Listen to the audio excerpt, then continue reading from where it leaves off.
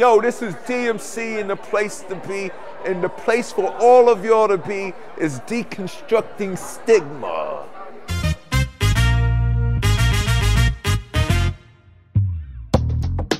Welcome to Mindful Things. I'm your host, Trevor Chamberlain. The Mindful Things podcast is brought to you by the Deconstructing Stigma team at McLean Hospital. Help us change attitudes about mental health by visiting deconstructingstigma.org. Oh, oh, oh. I'm sorry. I didn't I didn't mean to bump into you. I wasn't paying attention. Hi. What? Two weeks? It's been two weeks already? Oh my gosh, that flew by. Oh my god. I need more sleep. I'm in my new apartment.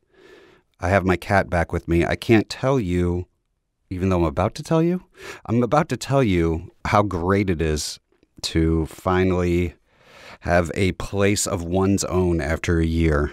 I mean, the effects were immediate. Was feeling better.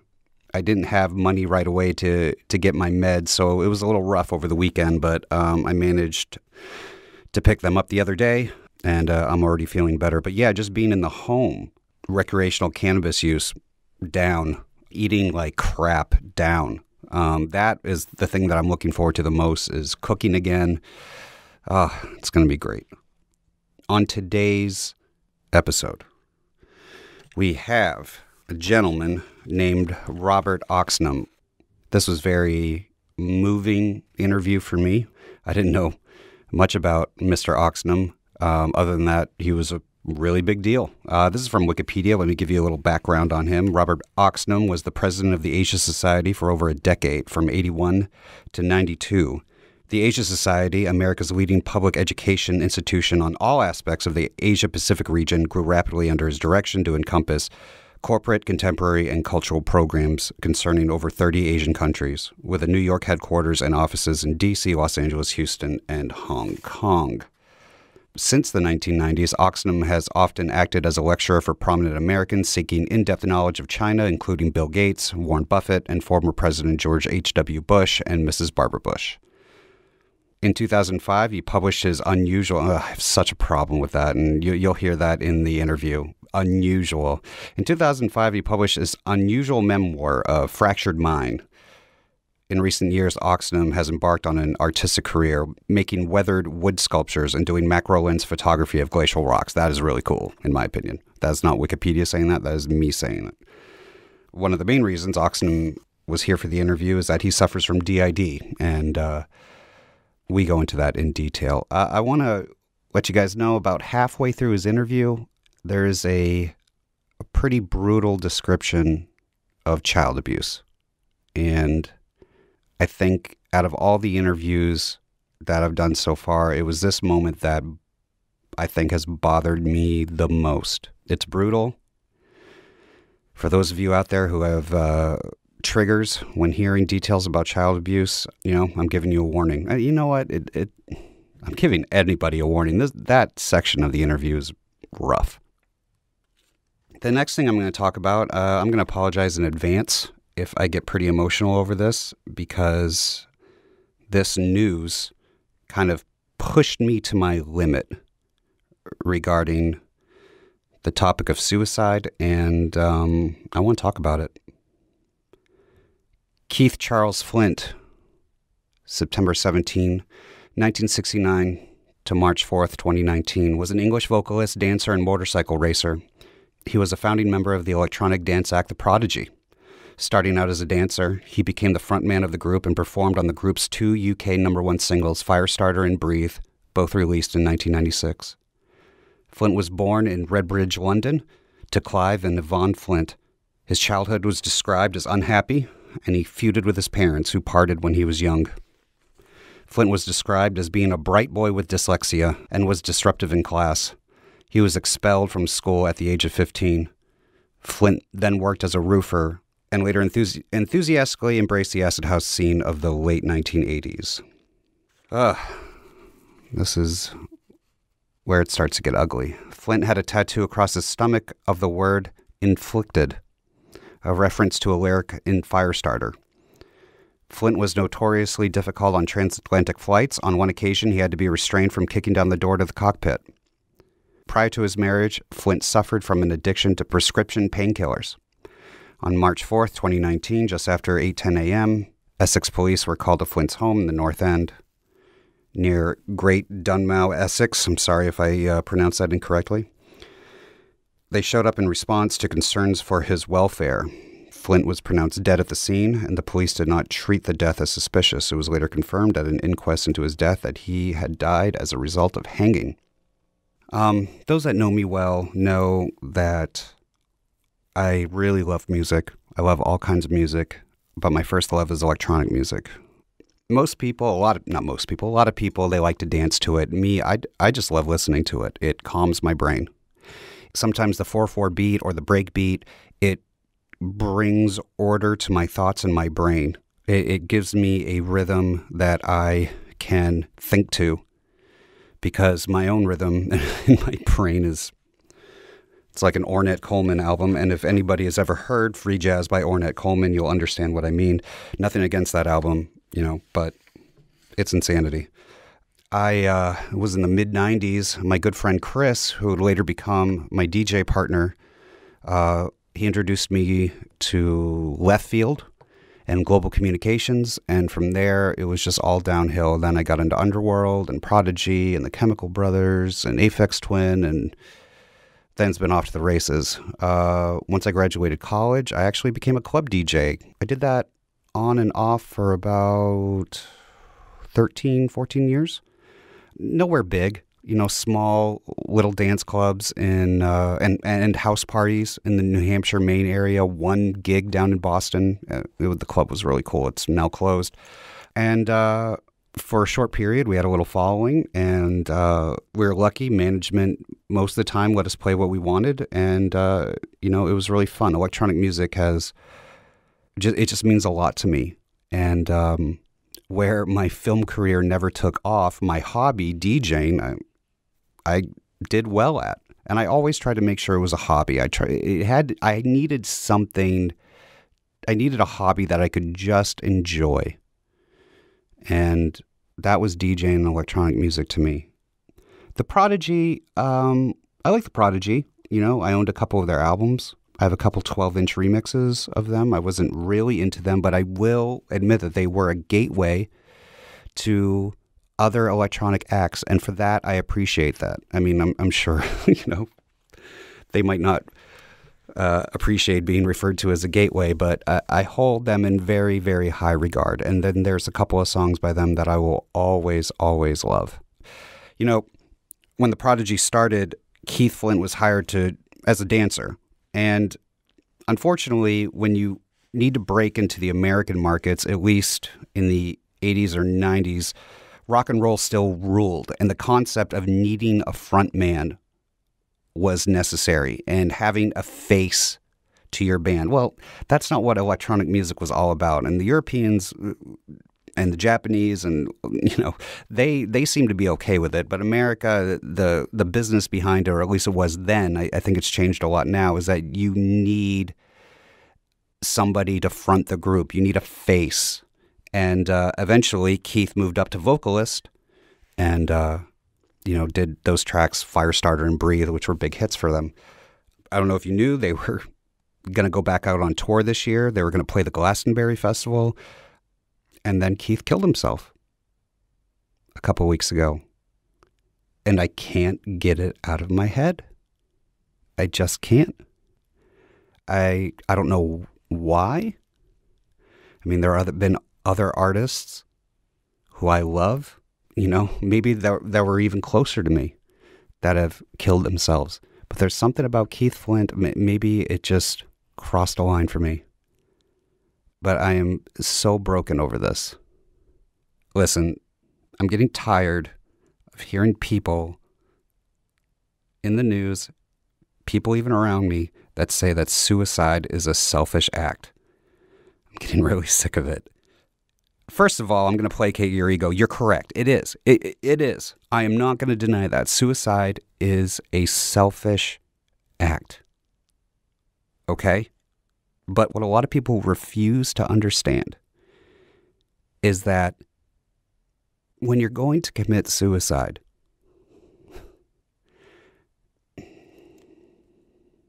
imagine you're underwater and you're drowning. Okay, if you're drowning, what are you going to do? You're going to struggle to get back above the water so you can breathe. What leads people to suicide is that they're underwater, they're at the point, they've struggled enough, they've thrashed, they've tried to get above the surface, and they can't. And you're about to drown. And it hurts. It hurts a lot. If anybody has held their breath underwater for a really long time, you know that there's a point where you got to get up and breathe. Okay? When you're about to commit suicide, you can't get up and breathe. You can't. It's not won't. You can't. Okay? And you have three options. Number one is the rare one. Number one is that you grab onto a helping hand. That's if you're lucky enough to have a helping hand. You have people that love you and people that are there for you. That's number one. And that's rare. Number two is that you get out by yourself. You somehow manage to do it. You, you pull yourself out of it. And that is hard. That is so hard. I'm talking from experience. It's really difficult. And the third one is I don't have a helping hand. I can't get to the surface on my own. This hurts so, so much. What can I do to get the pain to go away? What can I do to stop it? You're right. I'm not thinking about the effect it's going to have on my family. I'm not thinking about the effect that it's going to. Well, that's not true. One thing that pulled me out of it was I was like, was going to feed my cat. Really? I mean, really. Oh, that stupid cat has saved my life more than once. But I get it. I, I part of me wishes I didn't get it because to understand it, to have been there, to know it, it, it I don't know. It's it's a part of you goes away and you're never going to get it back. I'm so heartbroken over this. Folks, there are options. You might not think there are options, but there are. About a year and a half ago, before I moved back from San Diego to the Boston area, I was broke. I mean, poor. All I could do was get enough money to pay my rent, feed my cat, and feed myself, and I didn't have money for anything else. Nothing. I couldn't even afford my meds. And I was in a very, very dark place. I couldn't afford therapy. So, with the recommendation of a friend, I called a crisis hotline. Now, it was hard to do that. It's embarrassing. You you're desperate and you're going to call this person and they're going to save my life. I don't know. There, there are probably a few more instances in my life uh, where I uh, should have called a crisis hotline, but I had too much pride. And I know I'm not the only one. It's it's just embarrassing. And then the process is very difficult if you're trying to get meds, and understandably so. Like, I had to go downtown and I had to sit in a room with a lot of people who are in a lot of pain and are in a lot of trouble and aren't they've been dealt a real shit hand.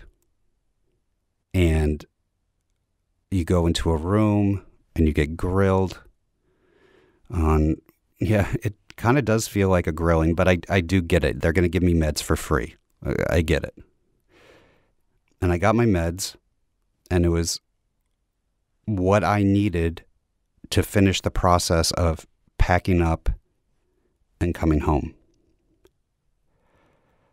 I get it, folks. There's a lot of you. There might be some of you listening right now that are suicidal and you don't have any options. You feel like you don't have any options. You hear the words crisis hotline and you just turn your back to it. I get it. I totally get it. It sucks. It's a terrible process. But it's one of the only ones and I promise you it works. It works. I'm living proof of it. It works. So listen to the information I'm about to give you. One group you could call or text are the Samaritans, and that's at 877 870 HOPE or 877 870 4673. Now you can call or text that number for help. There's also the National Suicide Prevention Lifeline. That number is 800 273 8255. That's 800 273 8255. There's a special National Suicide Prevention Lifeline that's in Spanish. That number is 888 628 9454. Again, 888 628 9454. For the deaf and hard of hearing, 800 799 4889. Again, 800 799 4889. Veterans Crisis Line, 800 273 8255. Again, 800 273 8255. Or you can text them at 838 255. Again, text them at 838 255. And finally, Disaster Distress Hotline. Hey, you lose a house in a storm. You know, not just a house, maybe you, you lost a family member and your house burned down, there's a fire, maybe you lost a, a pet, you know, that can push people a pretty far distance. The Disaster Distress Hotline, 800-985-5990, 800-985-5990. I am just torn up about the death of Keith Flint. Um, he wasn't well known, but he did something for me in my life that at the time I needed. I needed this music. This music, it does more than bring me joy. It does more than make me want to move my legs and dance. It makes me, it does more than just sit, you know, just calms me down. Helped me discover this whole new art form that I love so dearly. I mean, I love it all chill wave, ambient, trance, house, progressive house, like all of it. It just means so much to me. And to hear that one of its pioneers killed himself at 49, just before they were going to embark on a huge worldwide tour. Huge. I mean, I saw the ads on my social media, the people commenting, people were excited. They were going to play Glastonbury. Like, that's no joke. And now Keith Flint is dead. And I'm so angry about this. And I'm so angry about people talking about how selfish it is. Because it's it's so much more than that. And please, can you just allow it to be complicated? Can you do that? Yeah, you're right, it's selfish. And you're hurting people in the process. And maybe you're leaving a kid to fend for themselves. I know it's terrible. It's not good. But people commit suicide, they they they just they don't deserve the damnation for their choice. I'm not asking you to agree with me. I'm just asking you to accept that it's just more complex than any of us know. And until you know, you don't. You don't.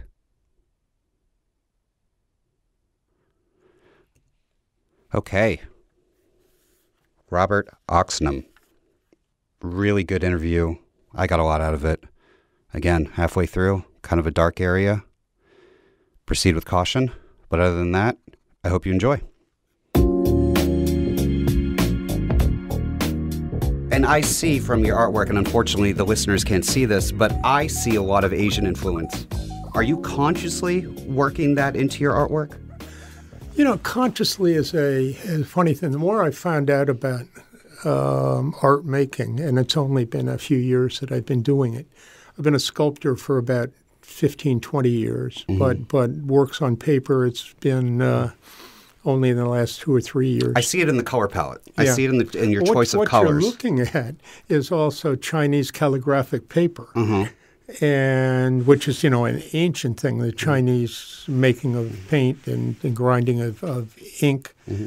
and so that tradition, yes, that's that's part of it. do the colors soak and therefore change? Do they take a different uh, uh, kind of tint when they hit that paper? It, yeah, it's interesting. If you take if you take ink onto a dry calligraphic paper, it will begin to make a little pattern. But if you if you wet the area, it will go off and make all kinds of patterns on its own. It's almost like the calligraphic paper. You go to go, go ahead, make me a beautiful, uh, beautiful work of art. But it does take some work from the artist, but it's it's a remarkable thing. Does that give you anxiety when the color goes on in its own direction? You know, one thing I found out about becoming an artist, it's true probably of every enterprise, but uh, that you have to learn to accept your your place in all of this. There are ge- Absolutely genius- not. I refuse to accept it. genius- there- There are not. geniuses who have been there forever. No. But there are a few people My like way or me. the highway. Oh my God! But you know what I find is you- see the finished works here. For each one of them, it's probably one of ten that I, I'm even a little satisfied with. So it's uh, Right. Yeah. And if you really get satisfied and arrogant, then you produce bad work. So uh, that's what I tell myself. Yeah. and uh, so but it's it's been a trip. And uh, i've worked with an australian artist for the last year and a half. And he's uh, his name's david rankin. Now lives in new york. Um, but he saw some of my sculpting work and he said why don't you do works on paper? And so i began to study with him and uh, he is he's an abstract artist, and uh, he really set me on a path and taught me a lot about inks and how to grind inks, but also how to uh, mix inks with water, the right amounts, and all of that. And so it's great to have a, a look. We both met actually. We both had been separately in uh, accidents, and we were in a uh, therapy place, and we were right next to each other. And a nurse came in and said, "Well, the guy next to you is an artist," and we got talking there, you know, aches and pains and all that stuff. And suddenly, it uh, he loves Chinese art, loves Japanese art, so we we had the same thing in mind, and it, it just came alive. What was your your responsibility for a you know Asia and America? What were your responsibilities between those two? in, in terms of relationship between Yes. Asian countries. I mean, uh, Americans, uh, certainly back in that period, and when the Asia Society was founded by John D. Rockefeller III in 1956, and he was. Uh, uh, someone with a real vision of what the future ought to be. And because he had gone to Asia a lot, and he was flabbergasted that most Americans knew nothing about it. And if they knew something about it, it had to do with war, like Vietnam. And um, so he gave an impetus for getting underway with uh, Asian art in different places, from performing arts of Asia, and then over time into programs of contemporary interest for, for a larger public on relations between United States and China or mm-hmm. United States and Japan or the emergence of a Pacific community, mm-hmm. all of that. So my responsibility was to oversee that or continue the legacy of, of Mr. Rockefeller mm-hmm. and to bring together a really top flight staff, which we which we were able to do in the 1980s and 1990s, and begin having programs not just in the U.S., uh, not just in New York, but around the U.S., but more and more programs in Asia itself. So How did that translate? Because there's there's one thing that I learned is that there's looking at China through a Western point of view, which not always the best way to look at it. You kind of have to adopt to what their point of view is culturally, which is something that you have to communicate as well. Were you able to do that? I think so for a lot of people. It, the, some people just came for a program or two, and the, the transformation of their thinking was was minimal. But for a lot of people, they began uh, in the 1960s, 70s, 80s, began thinking about okay, let's go on vacation to Asia, Right. or let's start collecting Asian art if you had that kind of money, um, or let us set up new business practices around Asia. And so, in many ways, the the personal linkage between Asians and Americans uh, began to flourish in that period. Now, it wasn't the majority of the population, Right. but for a significant minority, it, it was, and I think we played a role in that. So I want to move on to something. I I want to bring in your diagnosis of dissociative identity disorder. Do you remember what year it was when you were diagnosed? Yes, What year was that? 1990. 1990.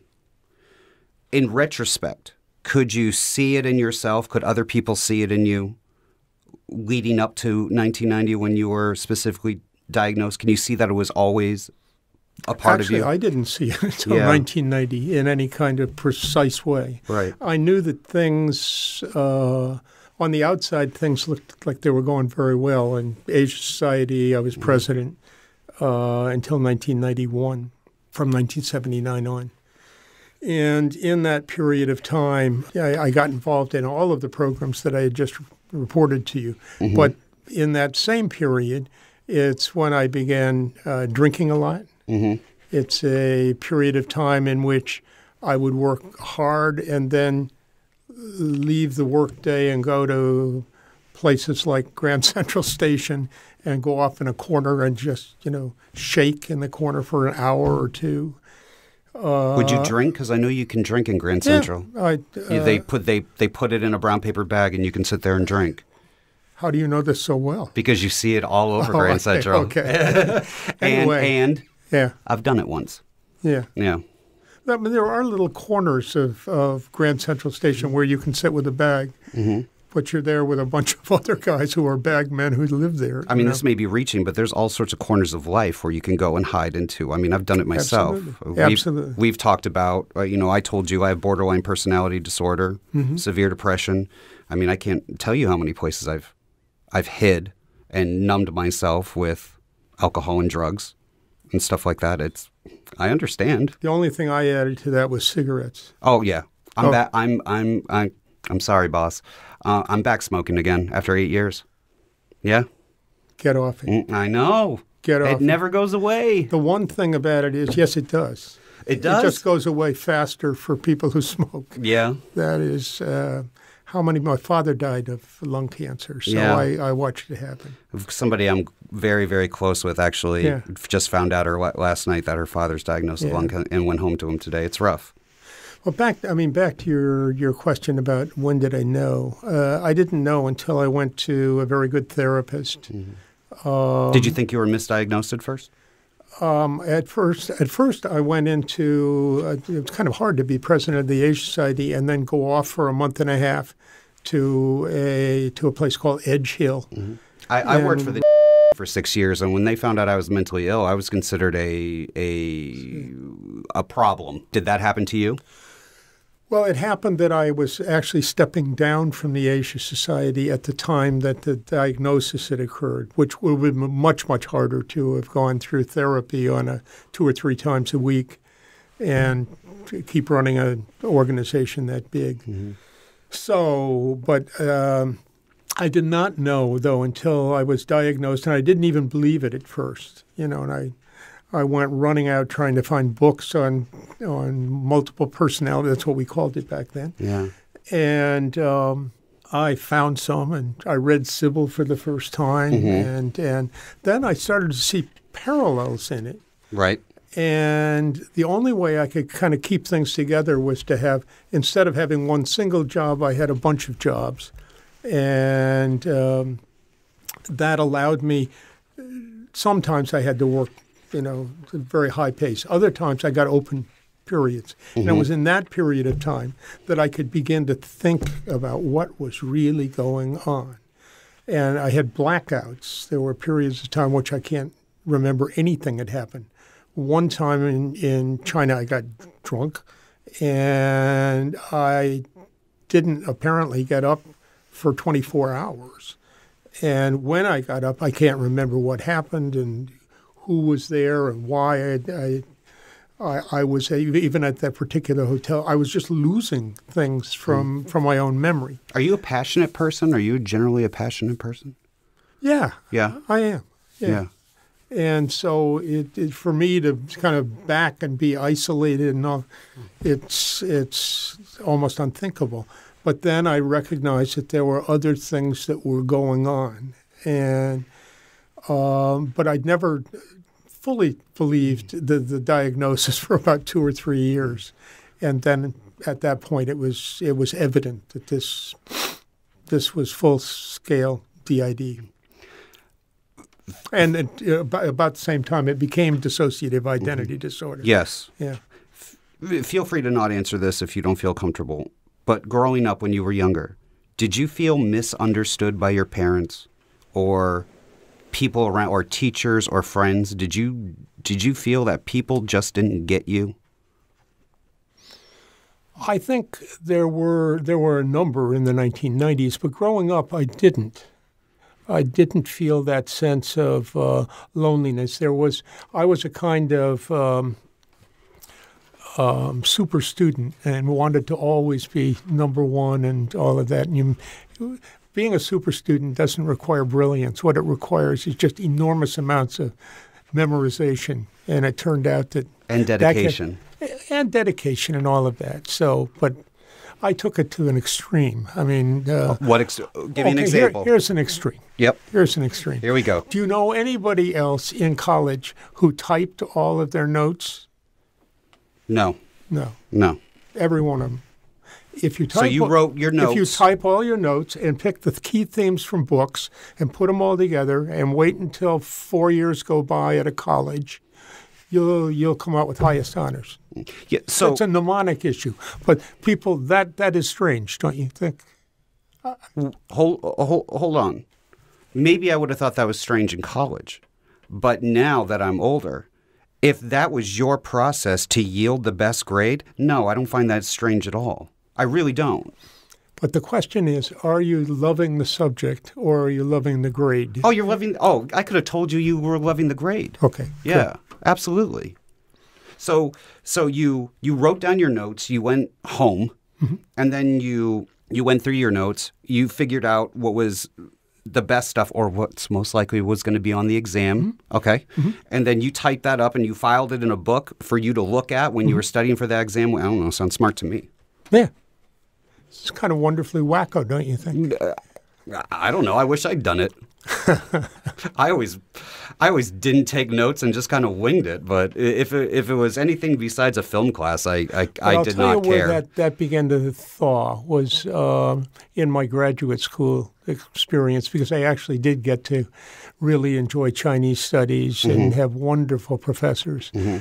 This wonderful woman who was 33, no, 37, when I first went to Yale and studied Chinese language, my mm-hmm. very first language teacher, is now 93 mm-hmm. and she and I talk almost every weekend in mm-hmm. Chinese. She's now living in the West Coast, and that I so I, I enjoyed that experience enormously, and it's like it's left a whole lifetime of, of wonderment. when you say Chinese uh, Mandarin or Cantonese? Mandarin. Mandarin, Man, I don't speak Cantonese. I think I found the quote I was looking for. The DSM 5 elaborates on cultural background as an influence for some presentations of DID. That's what they have to say. Many features of dissociative identity disorder can be influenced by an individual's cultural background. Mm-hmm. Individuals with this disorder may present with prominent medically unexplained neurological symptoms, such as non epileptic seizures, paralysis, or sensory loss, in cultural settings where such symptoms are common. Similarly, in settings where normative possession is common, rural areas in the developing world, among certain religious groups in the United States and Europe, The fragmented identities may take the form of possessing spirits, deities, demons, animals, or mythical figures. A, acculturation, a, help me, accultural, Acculturation. acculturation, or prolonged interculture contact may shape the characteristics of other identities. Possession form dissociative identity disorder can be distinguished from one culturally accepted possession states in that the former is involuntary, distressing, uncontrollable, or often recurrent or persistent. I think um, I think one could get overstated. Yeah, with I- the I whole, think that's a whole bit overstated. Cultural approach to Yeah. it. Uh, yes, of course. Obviously, this uh, this continuum that you have in generation to generation, things passed down. It wasn't that which really kicked off DID in Mm-hmm. my experience. Uh, it- I had to wait almost 50 years Mm-hmm. to find out what had actually happened in the first five years of my Mm-hmm. life. But it became apparent in through sessions with, psychiat- with my psychiatrist that indeed there had been um, a huge amount of violence uh, aimed at me during the early years, and that's not cultural. That is What- physical violence. uh, what that- years specifically? between uh, ages one and five, but the memory comes back. It's it was the driving force, I think, in much of what you were talking about earlier. Um, the Grand Central Station stuff has it has its roots in a period and in which there was enormous violence. I, I grew up and I found out that there are many others or some others that come from the World War II generation. That is, they were born during the war. Fathers were actually away other parts of the family became involved in taking care of the kid. If there was anybody who was absolutely cruel in that group, it could be um, visited upon the child. And it happened to me. And, and with the things that came back through therapy, these these had all been kind of scrambled memories, and then a therapist can help put it into shapes and boxes that that make sense the the original thing was a horror house. It was, um, and I, I I have vowed that I won't express the names of those who did no, it. no, no, no. But uh, and I didn't even in the book. But um, Which we'll get to. We'll get to the book. the violence. It's even kind of hard to talk about now. The violence uh, began with um, beatings and beatings that occurred fairly regularly, and it was my job to go out and cut the bush. You had to cut. be you had to cut the switch. I had to cut the switch. What I didn't know then to be, but uh, it was obvious later, was uh, penetration sex when I was probably two and three years old. Um, I remember at least once or twice being held up over boiling water and told that I was going to be dropped in the water, and I was screaming. Um, the one that actually is the most memorable and gives me enormous claustrophobia is that it was exactly that period in the early 40s when people were shifting from old ice boxes to to electric refrigerators and uh, we everybody put the uh, old ice box out on the street. Ice box was big enough; it had uh, doors in it. I was put in the ice box. It wasn't cold; it was just no air and shut.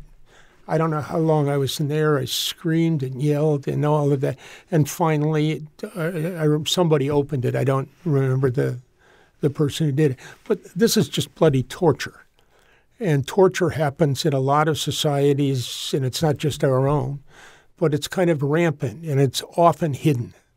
And in some ways, uh, DID is a very creative response to this. You can, my sense about the origin of the idea in my own sense is that it begins very early in life and is often children who have fairly high uh, intellectual attainment, but more more than that, who have a kind of resilience, who say, "Okay, you're told that this is going to happen, that this has happened to you because you're a bad boy," and that's just drilled into you, and you one part of you just gets crushed. If there's another part that says, I'm not going to put up with this. That I'm not all bad. Uh, and you create a personality that is a good person, who you can believe in, who has hope, and the two of them have to work their way through through life. But it begins right there in childhood and it continues out of that. And the whole tree of different identities that is DID, I think, emerges from those very early moments and how you respond to it before the child can even say the word respond. But the child recognizes that to stay alive mentally, they're going to have to create someone else. You bifurcate it, and you, you've had the first step towards dissociative identity disorder. That's what happened to me. I know that I, when I read books about um, about DID or people who's uh, suffered from it over years, that's always a theme in it. That they're, when did it actually happen? Why did it actually happen? I know why it happened. You know, Robert, I, this isn't meant to be hyperbole, but that might be one of the most self-aware things I've ever heard anybody say. I mean, how long did it take you to realize all of that? 50 years. 50 years. It was all bubbling down under the surface. And, you know, that the, the drive was to try to prove myself. Mm-hmm. So that's why I memorized all that. I was about to say a bad word, but all that stuff. Oh, you can say it. It's fine. Uh, I say he can say it. It's fine. Okay, okay. but the other, the other side of it is the desire to excel has been just so all consuming. I wanted to prove I'm not that. So what do I do? I my father said, you know, he used to teach firearms during the war. He, he said he didn't want to get near a firearm again, but introduced me to archery. Of course, I couldn't be happen with archery, so mm-hmm. I became. Uh, I won the club contest. I won the state contest. I became national archery champion. And all of this had to happen, not because I loved it, but because I had to prove it. And that's not the way one should sport, approach academic work or sports, in my mind. So, uh, with all the accomplishments you've had, and you have qu- quite a few, how do you reckon with those accomplishments? How, how do you not write them off as as byproducts of your disorder instead of accomplishments. That's something that I'm going through right now. I'm going through all my life accomplishments and I am now and it's a it's a right now I'm in a really strange place where all my accomplishments, what accomplishments I've had, they're all tainted by this is a byproduct of my mental illness. Obviously, I'm not giving myself any credit. you're right not to give yourself credit, and then you're wrong not to give yourself credit. Right. And both both are right. Right. That that that obviously you have the skills there to do that, and you should be proud of it. But if it occurs for you as it did for me, then it's a kind of lonely way of mm-hmm. going off into a place of saying. I'm going to prove myself so that other people know. Mm-hmm. And no, it definitely know, came out. It sick. definitely came from a negative place. Yeah. Absolutely. Yeah. And yours did too, is what I'm hearing. Absolutely the darkness of all of it. I, mean, I remember one time, um, of course, I got a Phi Beta Kappa key. Of course, my grandfather had a Phi Beta Kappa key that he gave to me. And one night I got drunk and I threw both of them in the ocean. And that's how I feel. I, I still feel that was the right thing to do because maybe my grandfather didn't deserve that, but I did. Because I, I was only there because it was a kind of stamp of mm-hmm. approval. Did was, you do Did you do any self harming, cutting, anything like that? Um, not really cutting. Yeah. I did a lot of banging my head on the wall mm-hmm. or beating myself up. Choking physically. yourself? Not choking.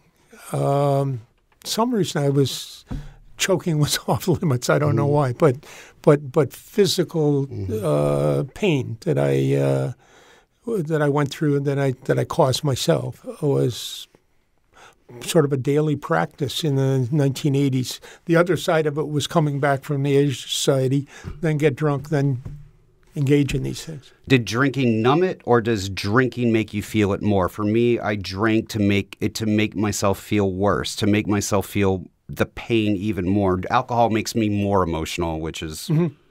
a nightmare. and that's why I don't drink that much anymore. But that's why I did it. I drank to feel, to just to make it feel so much worse. I didn't do it to uh, make myself feel so much worse. I did it as a kind of anesthesia. You know that I would start drinking, you know, after after dinner, and then drink till eleven o'clock or twelve o'clock or whenever I passed out. Did it ever start before dinner? Uh, very seldom, very seldom, because I had that whole other side of me, another personality. So you had a schedule, Yeah, yeah. Oh, absolutely. and you stuck to it. absolutely, Yeah. absolutely. I, I So you got your responsibilities I joined the Century Club in Right. New York, the Century Club, because it made the uh, the, the biggest drinks in town. Mm-hmm. I mean, so it's probably three times the average drink, which I'd have three of, and that that would take care of it. Do you feel at the level that you were operating, the society that you were around, do you feel that that behavior was enabled? Uh, you know what I felt was that the the, the pressure. I, that's what I always say. It's the pressure that I mm-hmm. got to let it let off. But I think in, in in in a deeper sense, it was before I even knew that I had all of these different parts. It was feeding a dark side and a and a light side, and trying at least to you know stay stable, which you can't. And ultimately, you you either take your own life, which I tried twice. So you've made suicide attempts. I, I made suicide attempts, one of which was a serious one. Yeah. How serious?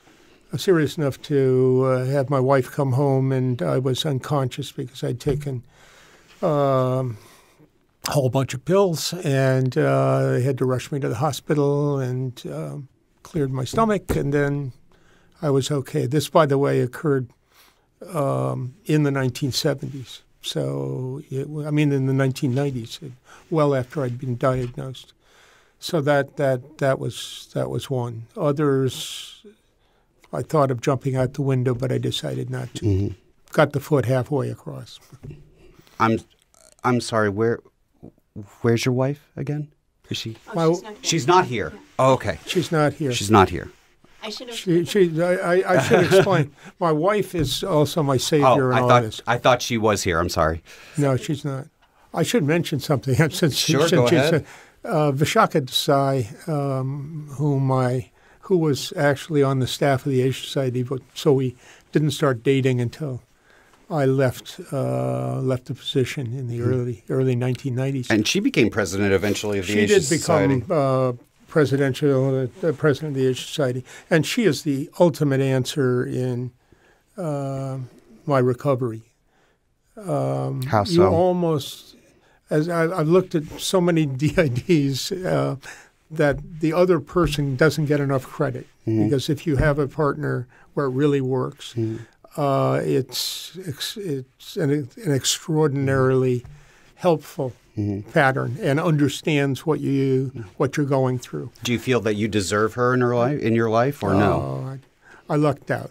You lucked out. Mm, Yeah, but She- do you, but do you ever feel like uh, Sometimes I, feel like I, I, the burden I place on her is too much. and do you feel do you specifically feel undeserving of it? Yeah, sometimes, Yeah. sometimes. But she is also, uh, she's a very successful person. She's the chief advisor to Lee Bollinger at Columbia University, president. Uh, on all of the global programs. She goes around the world all the time. Good news is she collects a lot of uh, extra flight ticket time. So Oh, that's nice. I, I fly with her sometimes. Oh. Doggone, yeah. Very we had to go to Greece this year, you know that that kind of thing. Uh, but her name is is uh, Vishakha Desai. Mm-hmm. She's Indian, and that's the other thing that's great. I didn't know that you could have really large families that loved each other, that didn't hate each other. Yeah. I'd grown up with that, and her family. She's one of 7 Mm-hmm. and it's such a treat to Yeah. go off to India with them, and and they they embraced me from the very beginning, Yeah. and uh, it's it's an extended family where yeah they go through all kinds of troubles, but the hatred and the nastiness I couldn't believe it not there Yeah. zilch In your uh, Wikipedia page, there's this sentence here that I find so strange. and indicative of the problem that we have discussing mental illness in general. This line stood out for me. It says in 2005, he published his unusual memoir, A Fractured Mind. About the uh, the book. Why would it be described as unusual? I think that that still is in the public imagination. It's a public way of looking at DID. Anybody who has DID uh, knows that. Uh, curious. What was the word? Unusual. Unusual. Um, it's, in fact, we're we're used to being looked at in a way that people may smile in front of you, but sometimes you know make comments behind your back, and uh, Uh, they couldn't so use the word honest or compassionate. They had to use unusual. And it can also be that a male person with DID uh, going public, there there haven't been a lot of books, and they're more uh, female from Sybil on, Mm-hmm. and I think maybe it was partly that. It Did may you- have been that it was professional suicide in the China uh, studies world. Mm-hmm. I knew that, but I've had friends who were. Mm. We, we did books together and all sorts of who won't talk to me again. And Do you feel that releasing a fractured mind by putting that out there, because there seems to be a gender disparity, at least at that time, discussing DID, did you feel that it was a threat to your masculinity or your manhood? no, No. I, I did it in a very thoughtful way. Vishakha and I approached it in a very thoughtful. We knew we were going to take some hits in it, but I thought that it was important to have you know someone who had had this particular kind of background but suffered from DID to just tell the story. And, in the course of it, I had a very good friend uh, who passed away a few years ago Oh, I'm sorry. he, as I was writing the book, said, you know, you ought to let each of the identities speak for themselves. And it was a game changer in that most books about DID uh, have been told somewhat objectively or told as if there was all, always the, the narrator was always the uh, same person. And by letting Bobby and Tommy and, and Wanda and all have their own voices in it, made it much more like at least how I've experienced DID in my own mind. Mm-hmm. So you could take a trip mm-hmm. almost literally along with me by reading the book. And so that's that's why I think it may have been described as unusual, mm-hmm. partly as a compliment, or I'd like to take it that way. Mm. Uh, And you've lost, since coming out with your diagnosis, it, you've said you've lost friends. Or, Yeah, I have lost friends. Um, but you know, the interesting thing is nobody really close to me or my wife or her family has backed away.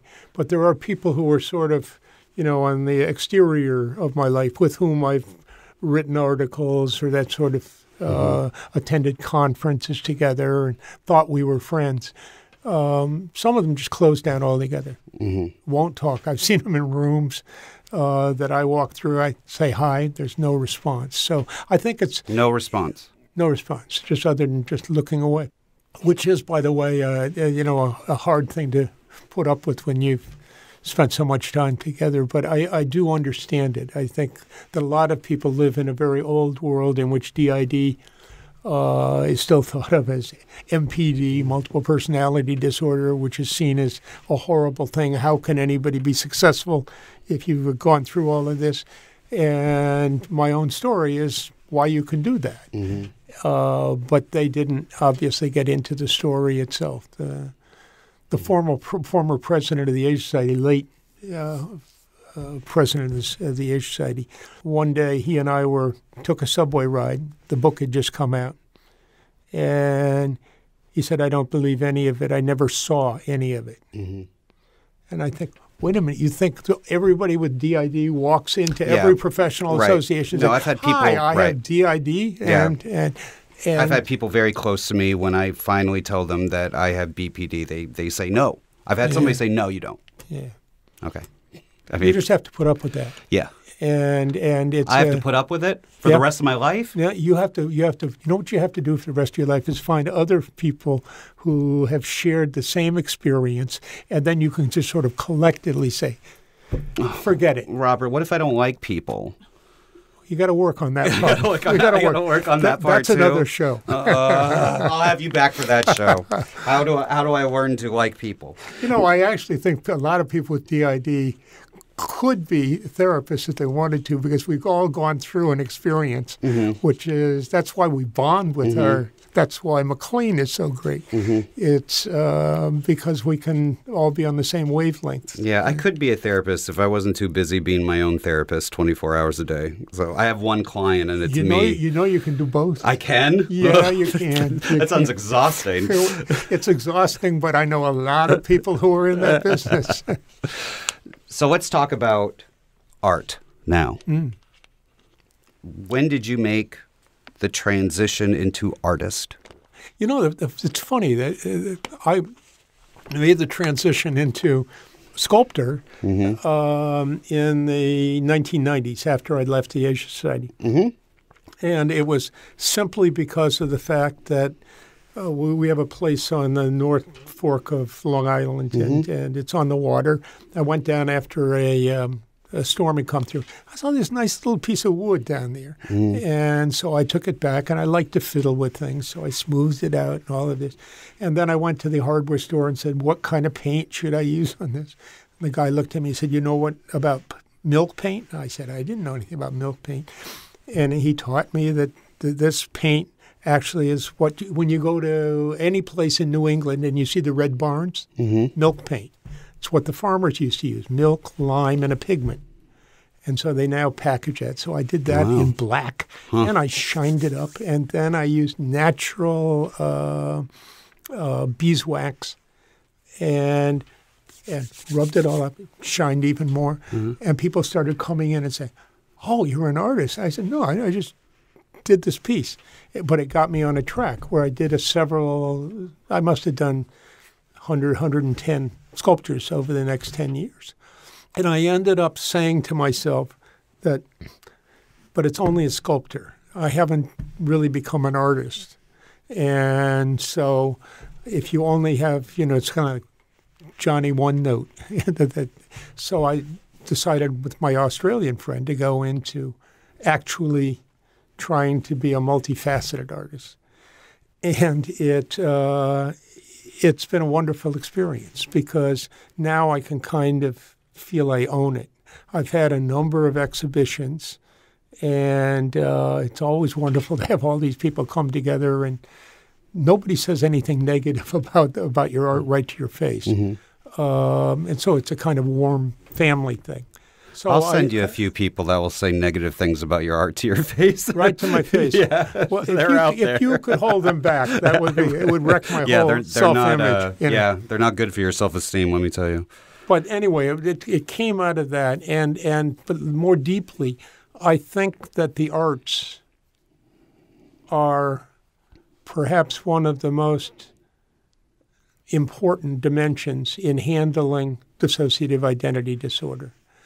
And I think probably a lot of other disorders as well. But what it demands, if you're going to do it right, is that you go through an inner process in which you're not literally saying, but figuratively saying, let me draw on the fact that I have five figures operating on the inside of me. How can we collaborate and do something and actually be able to utilize that in a creative way? Mm-hmm. It, it's it's kind of a, it's a miracle. Mm-hmm. And the beautiful thing about it is, I've come up. By the way, I found out that shrinks just love long words, so I developed long words to impress people in the field. Hit me. Okay. So people talk about multiplicity, right? So, but I have collaborative multiplicity. Is it, I mean that that was that was back about ten years ago in my in my evolution. How polysyllabic of you. Yeah, thank you so much. It is very polysyllabic, uh, and you meant that Sincerely. S- Oh, I got it. So, and then I found out that collaborative is kind of good, but it's like sort of sitting around a fire or something, and one person has an idea. It goes, it's very slow. And so I found out that art is something you don't do art slow. You don't go, okay, let me do black here and let me use the large brush here and then you don't it, that's not going to produce a good piece. You have to find a way in which that flow comes together. And in that sense i came up okay you're you're um, you're ready for the next one right? Mm-hmm. cohesive multiplicity. Now i think that is what how many different that, that that's uh, eight right Eight. Okay.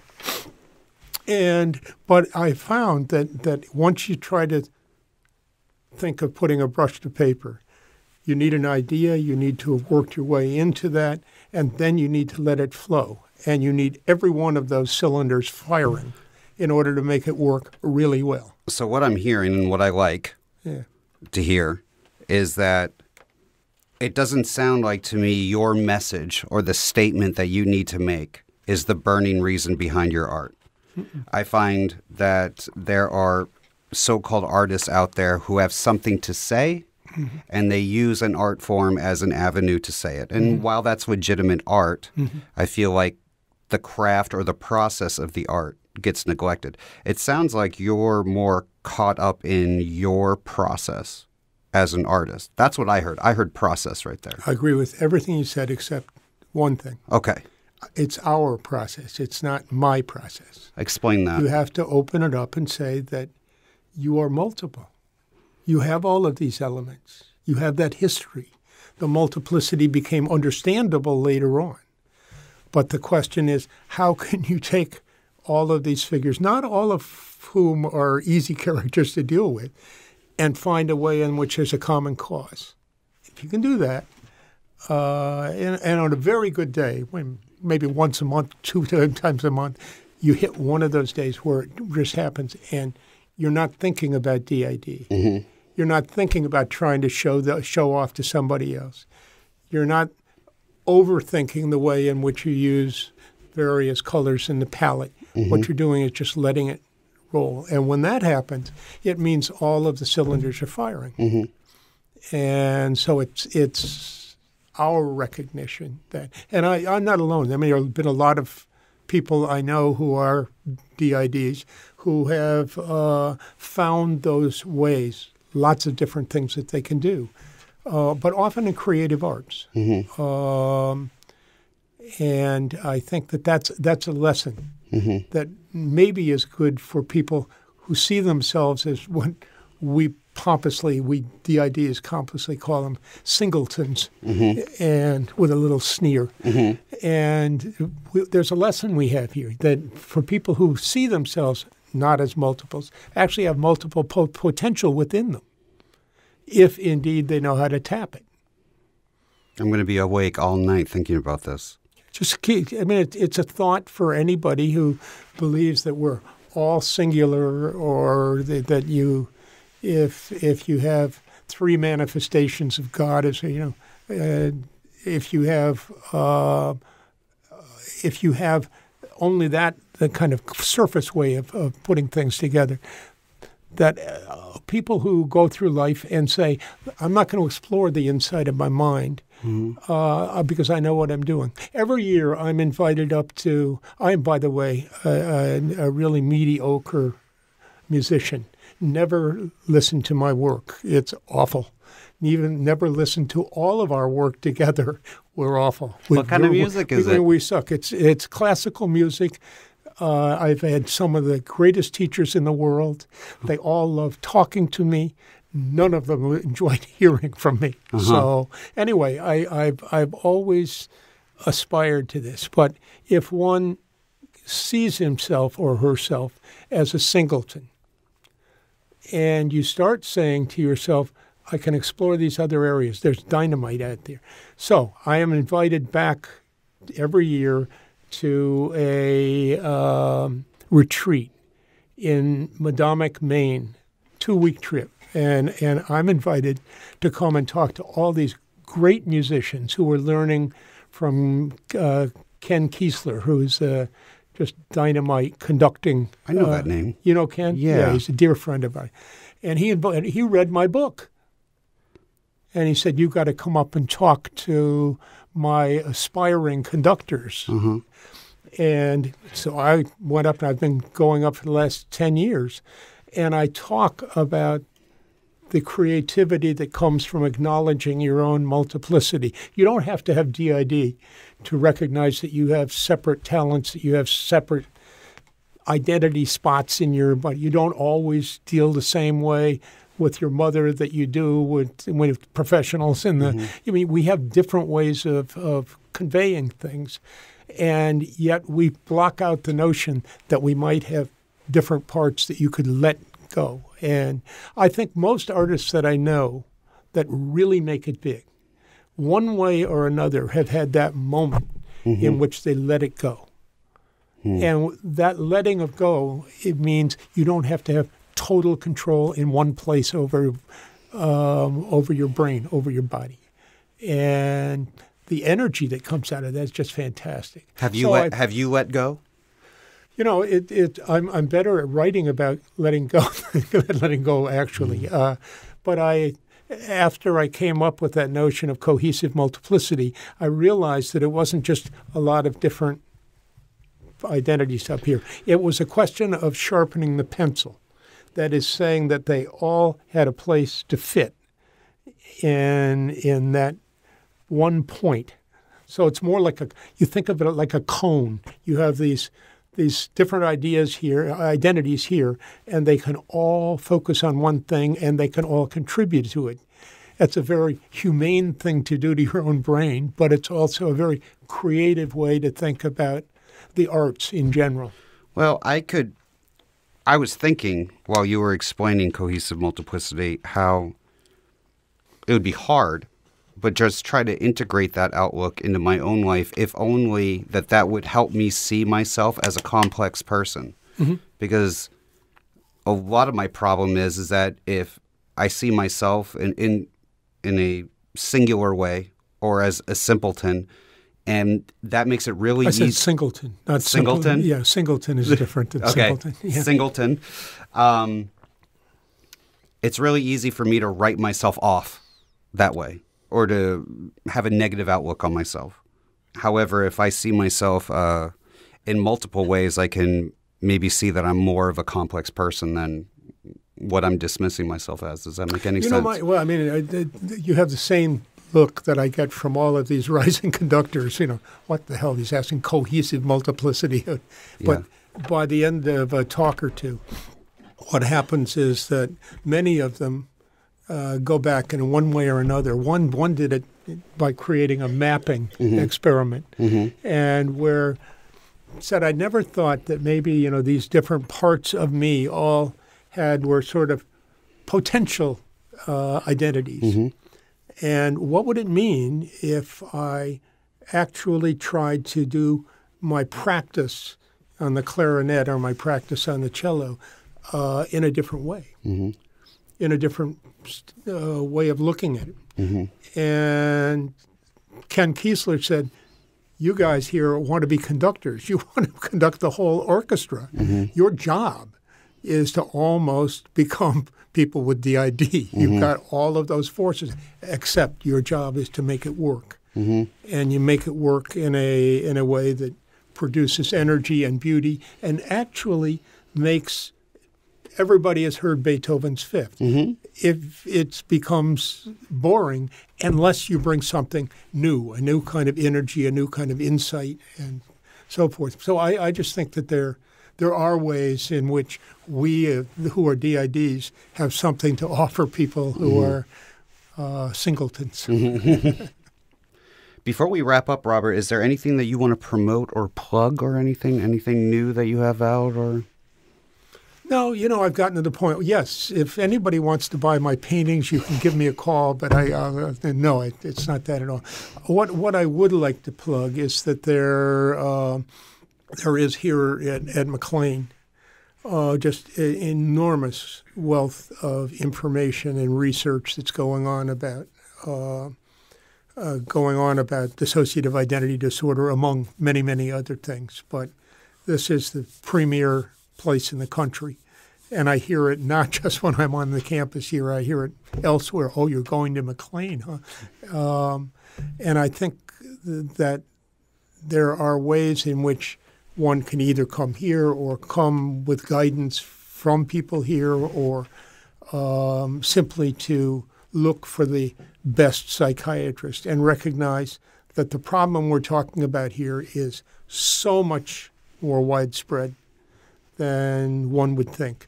The incidence, according to the American Psychi- uh, Psychiatric Association, is um, incidence of DID is someplace between one and three percent of the United States of America. Take the median there, and you would have, uh, if you had all the people in the country uh, in Maryland, they would there would be only DIDs Mm-hmm. or Wisconsin. They both are the, roughly the same size. We have to learn a lot about opening ourselves to the problems that have occurred in modern society, and of which uh, identity disorders is a is a major part. We need to learn that children are sometimes not performing well enough because of things that have happened to them or because of problems they've had with family or and that ought to be a much more open part of life. It's the hardest part to open. But once you do open it, you're doing one of the most humane things you can imagine. How many years do we have on the planet? How do you use that time best? Partly it is understanding yourself. Mm-hmm. Robert, this was an amazing talk. This was really it was really emotional for me too. I learned a lot. I enjoyed it. me too. I Yeah. kind I want to do Yeah. it again. You, oh my god! If you ever come back, yeah, I'd be glad to come back That'd be anytime. great. We'll do the 201 course. yeah, that'd be great. Robert, thank you so much for coming. I really Thank you. appreciate My it. My pleasure. Thank you. All right. What'd you think of that, huh? Google Robert. Check out his artwork. It's really good. It really is. And I'm just saying that because I had the guy in here and, you know, we're going to be best friends forever. I don't know. I'd like to be friends with him. He's a really cool guy.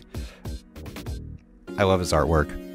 And uh, take a moment to check it out. Uh, I'm going to wrap it up real quick. Kind of had a long intro gonna spare you guys, but uh, we'll be back in two weeks. Two weeks, and uh, I hope to see you all, hear you all, see you all. I don't know. Just come back. Love you guys. Oh, and you know what? I I mean that. I I don't know you, but I love you.